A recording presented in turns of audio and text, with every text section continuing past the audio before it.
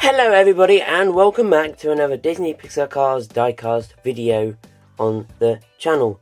Today we will actually be taking a close look at Todd the Pizza Planet truck. Now of course he is a very unique character, uh, doesn't have any speaking lines in all the three movies and yes he did appear in all three movies. He is a little Pixar easter egg which of course was first seen in Toy Story 2 back in 1999 and ever since then he has been in every single Pixar movie that has been released. So yeah, make sure you watch all the Pixar movies to see where he was seen. He was seen in Brave, he was seen in Finding Nemo, Finding Dory, all of those and the most iconic one is actually Cars and Toy Story because they in Cars they actually made him as a diecast. So yeah, let's take a close look at his Racerama packaging in 2009. So yeah, we can see the Racerama logo there, which looks absolutely pretty cool and amazing with the little bolt there. We can see the World of Cars logo there too. It looks absolutely cool with the Disney Pixar World of Cars. Looks amazing. We can see Todd the Pizza Planet truck's artwork with just Larry Camper in the background there. But yep, he looks absolutely cool. We can see Todd the Pizza Planet truck facing to the left. Todd, of course, T-O-D-D. Of course, he was 93 in the line, and we can see the 95 course there too. Little poster that you do get in, of course, all the packaging. On the back, not too much about Todd, just meet my friend Andrea. How are you friends with that? Like, Lightning, how did you become friends with Andrea? Not going to talk about that, but yeah, of course, he this one is made in China. So yeah, I am actually going to take a close look at that variant of Todd the Pizza Planet truck now, which is this one. Here is the base, made in 2009, of course the 149th day. So yeah, 9, 2009. So yeah, can't believe this one is 11 years old already. But yeah, he's got this nice smiling expression with two red lights at the front with this bumper. He's got this nice grill there with the headlights and of course the rust. Pretty cool, he's got rust all over him with of course two rusty bits there. I thought it was a bit of dirt, but you know it is actually part of the diecast. He's got his mirrors on both sides. He's got nice blue eyes with yellow eyelids. Looks pretty cool. On the side we've got a Pizza Planet, because he is a Pizza Planet truck. Pizza Planet. There's the rocket from Toy Story, which looks pretty cool. On the back, not too much to talk about, just a window and some details. Nice rims, we've got his indicator there. Of course, Pizza Planet, we could read that there if you want to. Looks pretty cool. We can see dirt decals all around. Looks amazing with these nice black rims. On the back, his license is well, he doesn't actually have a license plate. I'll talk about that in a few minutes here. But yeah, the back reads Yo. He's got his two rear lights there. Of course, the window with the white back there too. Rear bumper looks pretty cool. And I have already shown you the base. Now, he wasn't released again for another five years in, of course, the 2014 packaging. As you can see, part of the RSN series, now facing the other way. Did come with a name tag though this time.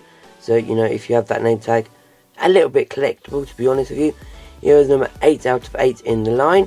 And we can see, of course, a few other cars as well. There is the prototype image that they used just smack on the back of the packaging. And of course, it says Dr. Peter Planet truck. 2013 copyrights represent that it was released in 2014. Now this is the variant here, of course I do have this one. The only main difference is of course these two little splats here as you can see, look they're no longer there.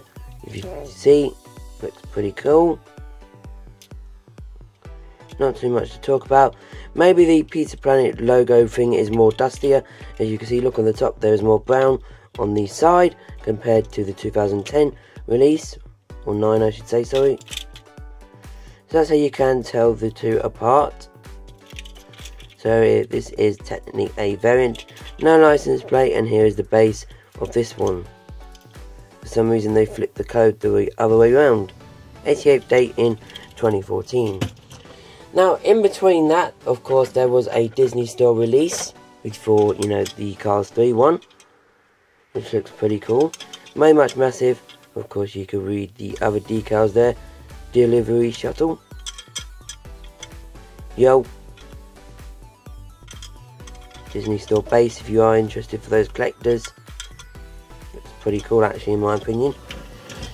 And then in 2017, he was released again in Cars 3. The most boring packaging ever. But I believe he was like a Kroger exclusive. I'm not 100% sure on that. But yeah, in the US, he was a Kroger exclusive. And now, the Cars 3 variant of Todd, Todd the Pizza Planet truck is actually very, very, very hard to find, in my opinion. And pretty expensive. But he is a Demolition Derby racer.